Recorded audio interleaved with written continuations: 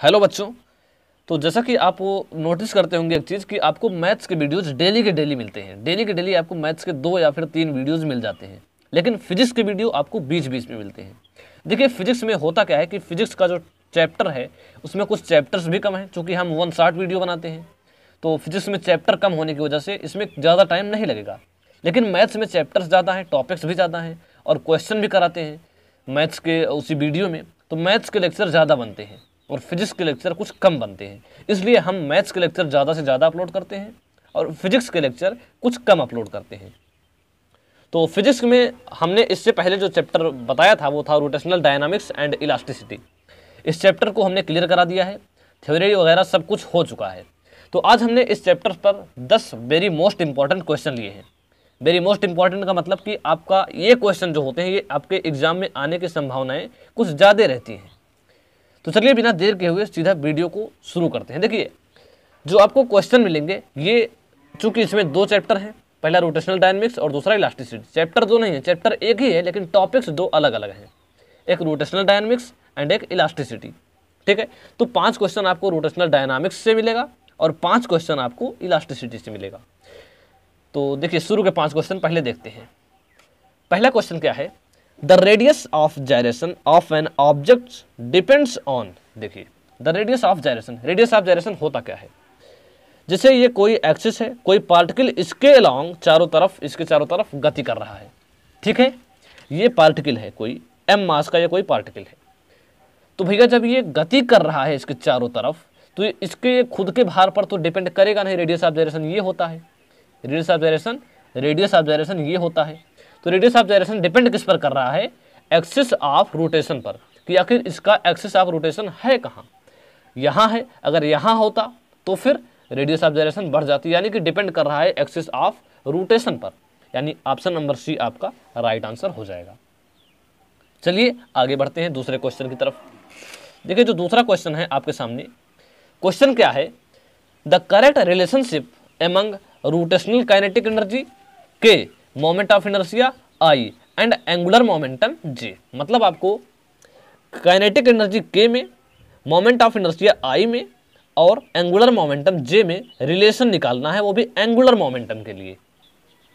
तो इन तीनों के बीच हमको रिलेशन निकालना है तो हम कुछ चालाकी करेंगे यहाँ पर। रिलेशन निकालने में हमेशा चालाकी ही की जाती है। अगर आप याद करके जाएँगे तो रिलेशन कभी नहीं निकाल पाएँगे और क्वेश्चन सॉल्व नहीं कर पाएँगे, सभी क्वेश्चन। कोई कोई सॉल्व कर लेंगे जो आप याद रखे रहेंगे। ठीक है? तो चालाकी क्या करते हैं आप देखिए रिलेशन निकालने में कई चीज़ों का विशेष ध्यान दिया जाता है। जैसे, पहली चीज़ तो आप में से, आपको इसमें से किसी चीज़ का फार्मूला पता रहना चाहिए, इन तीनों में से।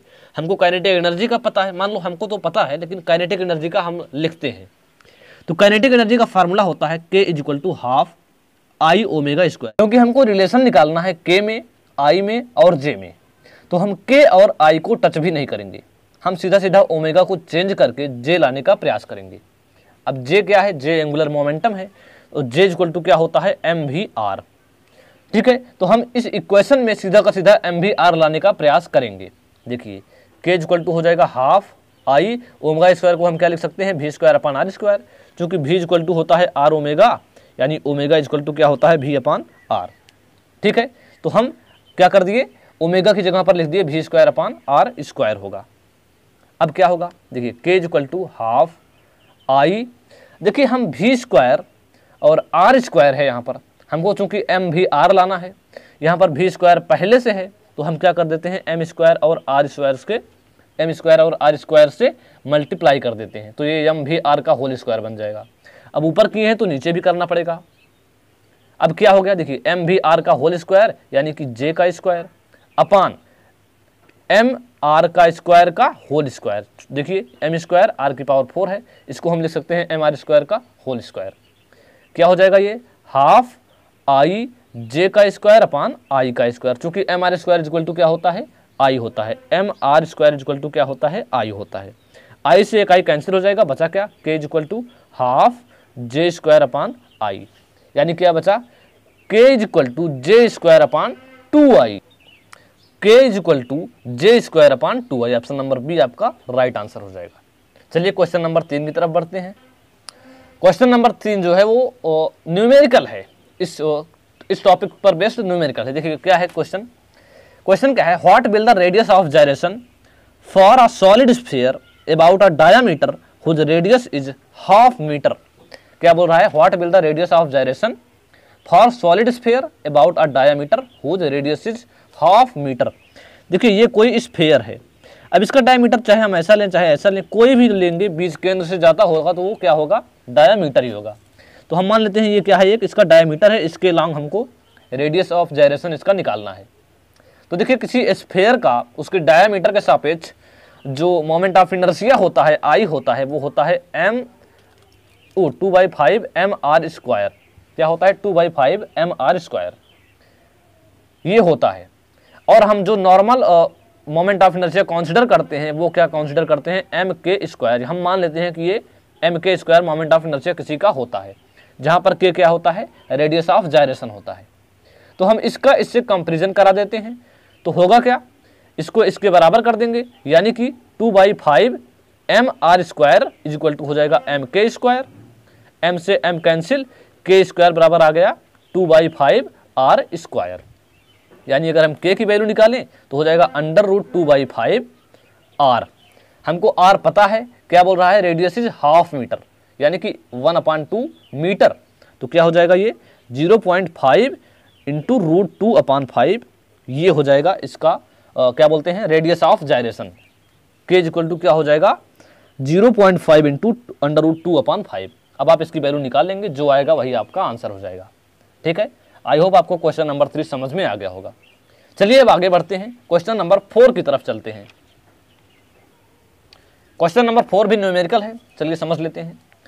क्वेश्चन क्या है? A disc released from rest at top an inclined plane what will the acceleration of disc when the angle of inclined plane is 30 degree क्या बोल रहा है? A disc released from rest at top of an inclined plane inclined plane हमने आपको बताया था कि ये होता है इंक्लाइम्ड प्लेन जो कि समतल से कुछ झुका हुआ हो। और बोल रहा है angle of inclined plane is 30 degree यानी ये 30 डिग्री से झुका हुआ है। एक डिस्क यहाँ से रिलीज़ की जाती है, और डिस्क का रेडियस कितना है?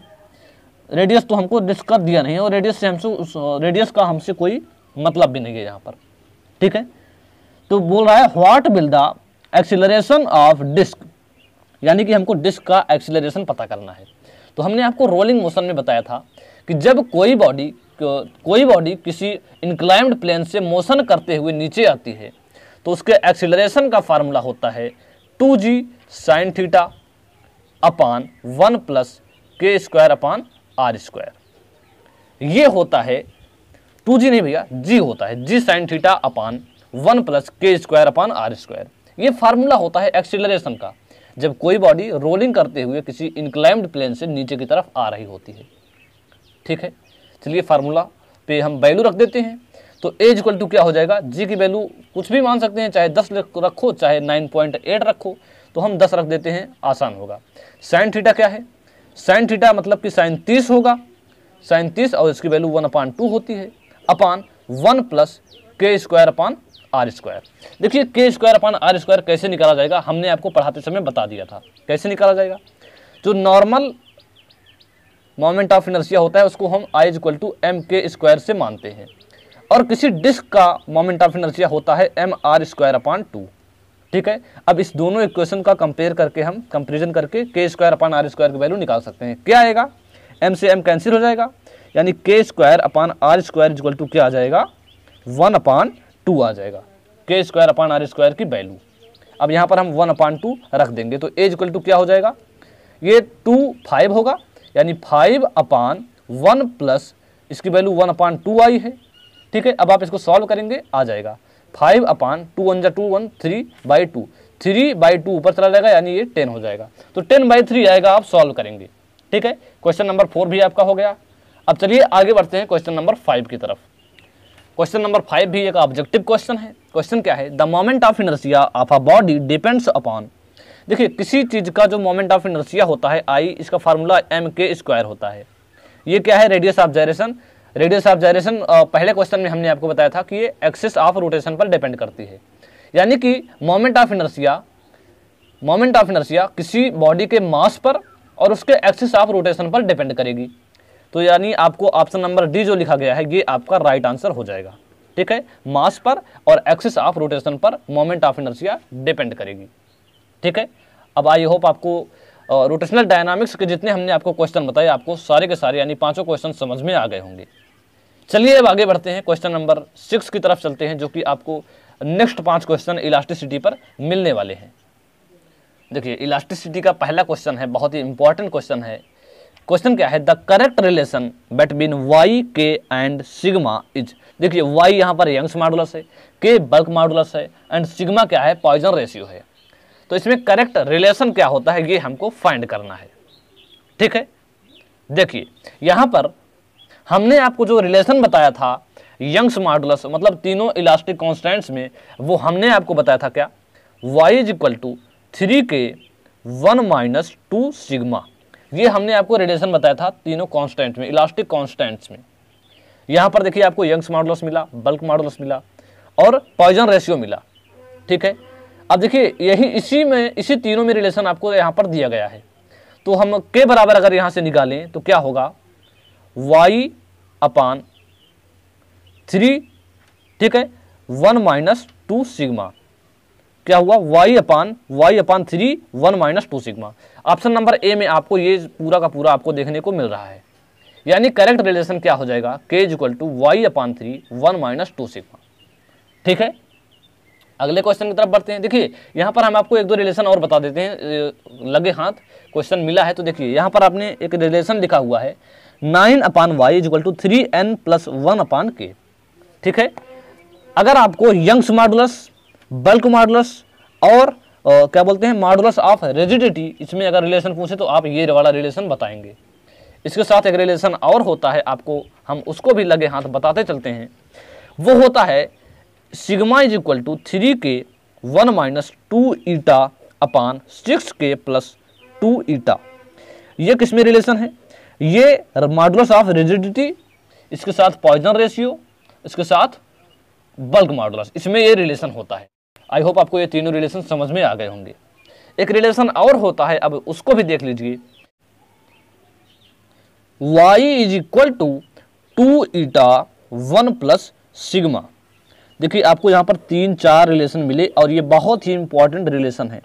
ये रिलेशन आपकी कैलकुलेशन क्षमता को बढ़ाते हैं। कैलकुलेशन अगर आपको नहीं आती है तो आप ये रिलेशन तीनों निकालेंगे तो आपकी कैलकुलेशन स्ट्रांग होती जाएगी। ठीक है? यहाँ पर देखिए, यहाँ पर जो रिलेशन मिला है, वो है यंग्स मॉडुलस बल्क मॉडुलस और पॉइजन रेशियो में। यहाँ पर यंग्स मॉडुलस बल्क मॉडुलस और मॉडुलस ऑफ़ रिजिडिटी में मिला है। ठीक है? और यहाँ पर पॉइजन रेशियो यंग्स मॉडुलस और मॉडुलस ऑफ़ रिजिडिटी में। ये चारों रिलेशन बहुत ही इंपॉर्टेंट है और ये चार चीज़ों में रिलेशन बताए गए। चारों रिलेशन आप लोग याद रखेंगे और कोई क्वेश्चन अगर पूछा जाता है, अगर चारों रिलेशन याद है तो आप डायरेक्ट निकाल सकते हैं। क्वेश्चन का आंसर ठीक है? चलिए अब इसी के साथ अगले क्वेश्चन की तरफ़ बढ़ते हैं। अगला क्वेश्चन क्वेश्चन नंबर टू क्या है? The value of Young's modulus Y is 2.4 times of its shearing modulus देखिए शेयरिंग मॉडुलस जो होता है, उसको हम ईटा से दिखाते हैं। जो मॉडुलस ऑफ़ रिजिडिटी होता है, उसी को हम शेयरिंग मॉडुलस बोलते हैं। इसको हम ईटा से डिनोट करते हैं। ठीक है? बोल कह रहा है? The Young's modulus is 2.4 times of its shearing modulus यानी कि जो यंग्स मॉडुलस है, वो शेयरिंग मॉडुलस का 2.4 टाइम्स है। यानी इसका 2.4 गुना है। ठीक है यंग्स मॉडुलस तो क्या बोल रहा है? Then the Poisson ratio is देखिए, अभी जस्ट पीछे हमने आपको एक रिलेशन बताया था, क्या? Y is equal to two eta one plus sigma देखिए, तुरंत के तुरंत हमने भी आपको बता ही रहे थे कि आपको इस पर क्वेश्चन मिल सकते हैं। दूसरा क्वेश्चन आपको इसी पर मिल गया। ठीक है? ये रिलेशन होता है यंग्स मॉडुलस और मॉडुलस ऑफ़ रिजिडिटी यानी शेयरिंग मॉडुलस और पॉइजन रेशियो में। आप यहाँ पर वाई की वैल्यू रखेंगे।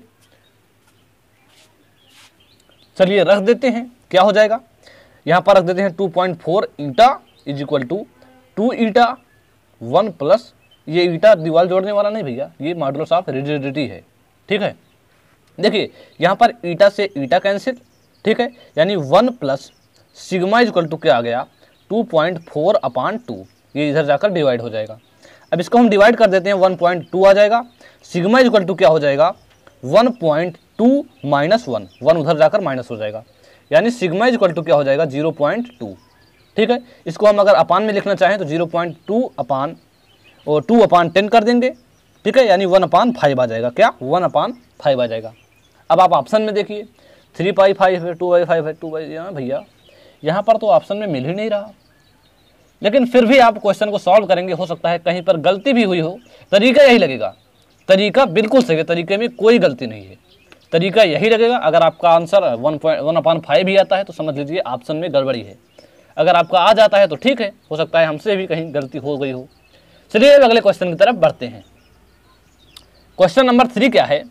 थ्री बोल रहा है कि steel wire of one M M radius is bent is bent the form of circular arc मतलब ये बेंट कर गया एक सर्कुलर आर्क के फॉर्म में।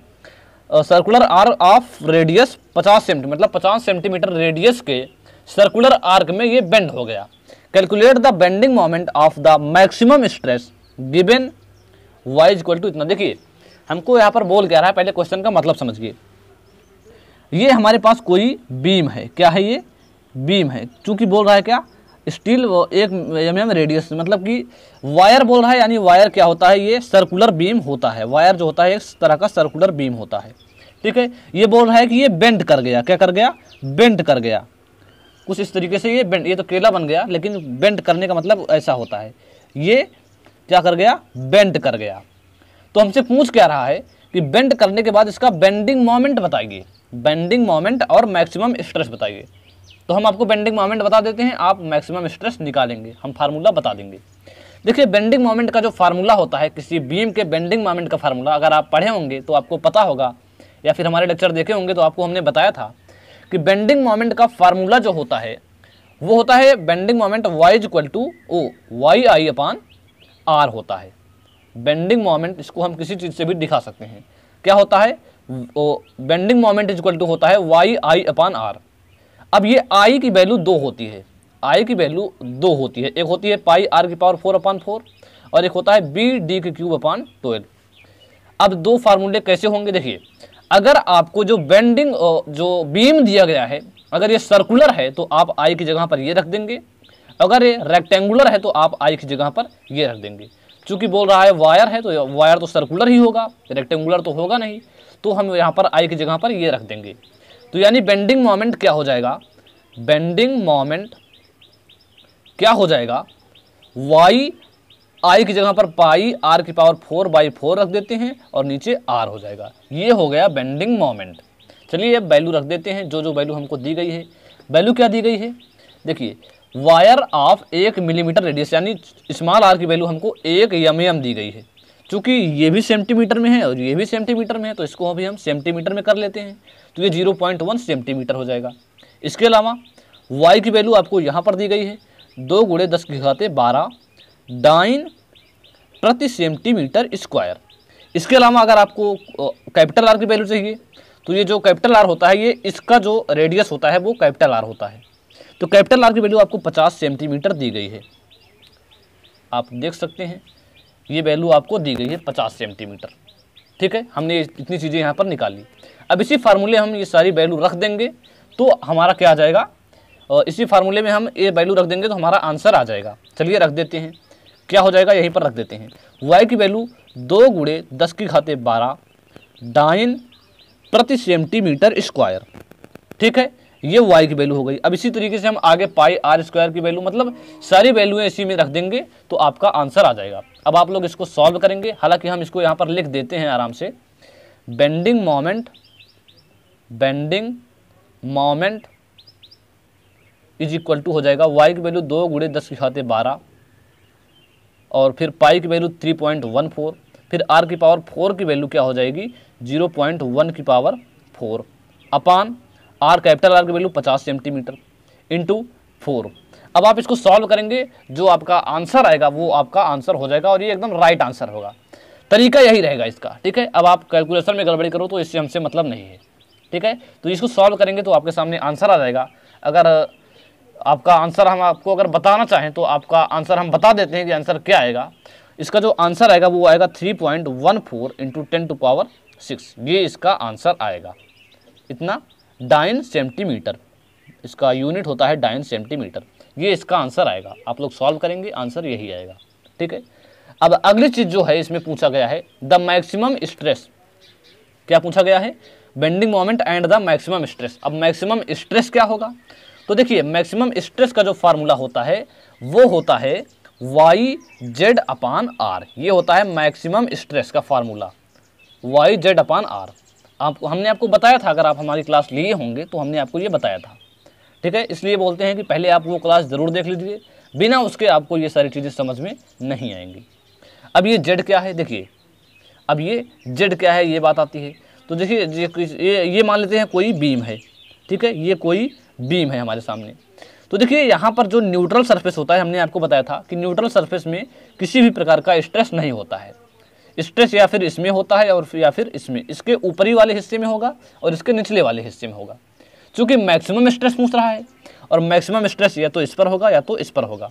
यानी कि जो मैक्सिमम स्ट्रेस होगा ये या तो एकदम ऊपरी परत पर होगा या फिर एकदम निचली परत पर होगा। ठीक है? ये जेड जो होता है, ये न्यूट्रल सरफेस से जेड डिस्टेंस पे क्या होता है? स्ट्रेस होता है। ये स्ट्रेस जो होता है, ये जो फार्मूला आप देख रहे हैं, ये न्यूट्रल सरफेस से जेड डिस्टेंस ऊपर या फिर जेड डिस्टेंस नीचे स्ट्रेस होता है। न्यूट्रल सरफेस से। तो मैक्सिमम स्ट्रेस पूछ रहा है, यानी कि जेड की वैल्यू क्या हो जाएगी? आर हो जाएगी, क्योंकि इसका रेडियस आर है। जेड की वैल्यू आर हो जाएगी। तो यहाँ पर क्या हो जाएगी? वाई आर अपान आर अब इसमें आप वाई की वैल्यू स्मॉल आर की वैल्यू कैपिटल आर की वैल्यू पुट करेंगे तो आपके सामने आंसर आ जाएगा। ठीक है?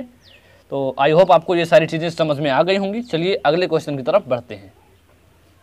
अगला क्वेश्चन जो है वो क्या है? A cantilever of length 0.5 metre has a depression of 15 M M fifteen M का मतलब हुआ 15 मिलीमीटर ठीक है? और यहाँ पर मीटर में दिया गया है, यहाँ पर मिलीमीटर में दिया गया है, यहाँ पर मीटर में दिया गया है। तो पहले तो हम एक काम ये करते हैं कि इन सारी चीज़ों को हम पहले क्या करते हैं, क्या करते हैं, इसको हम मीटर में ही कर लेते हैं एम एम को मीटर में ही कर लेंगे। आप ये चीज़ तुरंत के तुरंत ध्यान में रखा करिए। यहाँ पर मीटर, यहाँ पर मीटर तो इसको भी हम मीटर में कर लेंगे अभी, ठीक है? क्या बोल रहा है? A cantilever length zero point five metre एक कैंटिलीवर क्या होता है? पहले तो ये समझिए। अगर हम एक बीम को, एक सिरे को फिक्स करके एक सिरे के नीचे कुछ भार लटका दें तो ये कुछ इस तरीके से क्या कर जाएगी? बेंड कर जाएगी। ये कुछ इस तरीके से बेंड कर जाएगी। अगर हम बीम पे कुछ इस तरीके से लेकर इसके नीचे भार लटका दें तो ये इस तरीके से बेंड कर जाएगी। तो इस बीम को हम क्या बोलते हैं? अगर एक तरफ़ फिक्स किया हुआ जो बीम होता है, इसको बोलते हैं कैंटिलीवर क्या बोलते हैं? कैंटिलीवर और इसकी लेंथ हमको दे रखा है क्या? 0.5 मीटर ठीक है? लेंथ 0.5 मीटर क्या बोल रहा है? Has a depression of 15 millimetre, depression of 15 millimetre. At, its free end देखिए, जो फ्री इंड है, यहाँ पर बोल रहा है कि डिप्रेशन कितना है? 15 मिलीमीटर। डिप्रेशन जो फ्री इंड पर होता है, वो मैक्सिमम होता है। फ्री इंड पर जो डिप्रेशन होता है, वो मैक्सिमम होता है। यानी यहाँ पर जो डिप्रेशन है, वो कितना है? 15 यम यम यम यम ठीक है? ये 15 एम एम यहाँ पर डिप्रेशन है। आगे क्या बोल रहा है? Calculate the depression at the distance of zero point zero point three metre from the fixed end from the fixed end क्या बोल रहा है कि इसके 0.3 मीटर फिक्स्ड एंड से 0.3 मीटर आगे क्या है? हमको डिप्रेशन निकालना है। चूँकि डिप्रेशन यहाँ पर अलग है, यहाँ पर अलग है, यहाँ पर अलग है, यहाँ पर अलग है। सबसे ज़्यादा यहाँ पर है। ठीक है? तो हमको इस इससे ज़ीरो पॉइंट थ्री मीटर आगे डिप्रेशन निकालना है। कैसे निकालेंगे? देखिए, आपको मैक्सिमम डिप्रेशन दिया गया है। पहली चीज़ तो डिप्रेशन का फार्मूला क्या होता है? आपको ये पता होना चाहिए। कि आखिर डिप्रेशन का फार्मूला क्या होता है? तो जो डिप्रेशन का फार्मूला होता है, ये होता है Y equal to W by Y I देखिए, ये स्मॉल वाई है, ये कैपिटल वाई ये यंग्स मॉडुलस है और ये डिप्रेशन है। L X square upon two minus X cube upon six ठीक है? ये क्या है? डिप्रेशन का फार्मूला होता है। अब मैक्सिमम डिप्रेशन जो होता है, वो यहाँ पर होता है। इससे यक्स दूरी पर डिप्रेशन जो होता है, उसका फार्मूला ये होता है।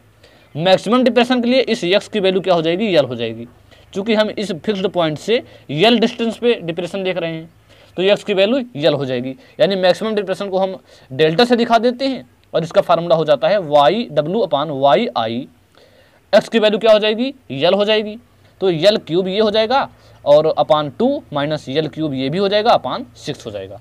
ठीक है? अब अगर हम इसको सॉल्व और करेंगे तो हमारा आ जाएगा W L cube upon three Y I ठीक है? ये आ जाएगा अगर हम इसको सॉल्व करेंगे। ठीक है? तो अब आगे क्या करेंगे? चूँकि हमको डिप्रेशन निकालना है, यहाँ से 0.3 मीटर आगे, और मैक्सिमम डिप्रेशन हमको ये दिया गया है। इसकी वैल्यू पता है? लेंथ यानी यल की वैल्यू पता है। यंग्स मॉडुलस की वैल्यू हमको यंग्स मॉडुलस की वैल्यू नहीं पता है तो हम करते क्या है? यहाँ पर एक चार आँखें लगाते हैं। अब इसमें अगर आप इसकी वैल्यू निकाल के यंग्स मॉडुलस निकालोगे आई निकालोगे तो आपको समय लग जाएगा। सो इसलिए हम करते क्या है? इसका और इसका अनुपात कर देते हैं। इसका इससे भाग दे देते हैं। तो क्या आ जाता है? Y upon delta equal to आ जाएगा। डब्लू अपान वाई आई देखिए, यहाँ पर है, यहाँ पर है। तो ये कैंसिल हो जाएँगे। यानी वन अपान क्या बचेगा? वन अपान एल क्यूब बटे थ्री या फिर हम इसको ऊपर ले जा सकते हैं। एल क्यूब अपान थ्री को हम थ्री को ऊपर ले जा सकते हैं। ठीक है? और अंदर क्या बचेगा? L X square upon two minus X cube upon six ये बचेगा। अब क्या करेंगे? तो अब हमको वाई निकालना है। यक्स की वैल्यू थ्री दी गई है। कितना? थ्री दिया गया है। यक्स की value zero point three metre बोल रहा है। तो हम यहाँ पर सारी वैल्यू रखकर इसका वाई का मान निकालेंगे। वाई इक्वल टू क्या हो जाएगा? Three delta upon L cube three delta upon L cube L X square upon two minus X cube upon six ठीक है? इतनी चीज़ समझ में आई? अब आप करेंगे क्या? Y की वैल्यू बोल रहा है कि ज़ीरो पॉइंट इस फिक्स्ड पॉइंट से ज़ीरो पॉइंट थ्री मीटर आगे डिप्रेशन निकालिए। तो हम एक्स की वैल्यू ज़ीरो पॉइंट थ्री रख देंगे इस फार्मूले में तो फिक्स्ड इंड से ज़ीरो पॉइंट थ्री मीटर आगे डिप्रेशन वाई पता चल जाएगा। तो इसी में हमको डेल्टा की वैल्यू पता है और यक्स की वैल्यू पता है यल की वैल्यू पता है तो सारी वैल्यू हम इसी में रख देंगे तो हमारा आंसर आ जाएगा। ठीक है? तो अब चलिए लास्ट क्वेश्चन की तरफ़ चलते हैं, जो कि हमको नहीं, आपको करना है। लास्ट क्वेश्चन आपको करना है। क्वेश्चन क्या है? The example of perfectly elastic is perfectly elastic हमने आपको बताया था कि क्या होता है। परफेक्टली इलास्टिक वो होता है, जिसको अगर हम एक बार, जिसमें अगर हम फोर्स लगाकर उसके आकृति में परिवर्तन कर दें तो वो फिर से अपनी वास्तविक आकृति में आ जाए। उसको हम बोलते हैं परफेक्टली इलास्टिक ठीक है? अपनी वास्तविक स्थिति में पूरी की पूरी तरीके से उसी प्रकार से आ जाए। उसको हम परफेक्टली इलास्टिक बोलते हैं। अब परफेक्टली इलास्टिक का एग्ज़ाम्पल कौन है, इसमें से आप लोग बताएँगे। ऑप्शन है वैक्स दूसरा फास्फर ब्रांच तीसरा पैराफिन्स और चौथा पुट्टी पुट्टी जो दीवार में लगाई जाती है, वही पुट्टी है, ठीक है? तो आप इसमें से कौन सा आंसर सही होगा? आप इसका आंसर आप हमको कमेंट बॉक्स में बताएँगे। अगर आपको लाइक मिलता है तो समझ लीजिए कि ऑप्शन सही है और लाइक नहीं मिलता है तो ऑप्शन गलत है। चलिए, मिलते हैं नेक्स्ट क्लास में, तब तक के लिए जय हिंद।